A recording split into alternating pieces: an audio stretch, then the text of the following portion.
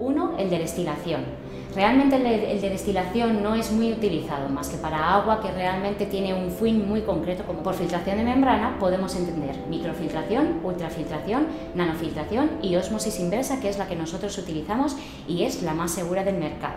La destilación, el inconveniente que tiene es que necesitamos aplicar muchísimo calor, entonces el gasto energético es bastante elevado, cosa que nosotros nos vamos a ahorrar con la filtración por membrana. ¿Cuáles son las ventajas por osmosis inversa? Que la porosidad de la la porosidad del filtro, es la mínima en el mercado.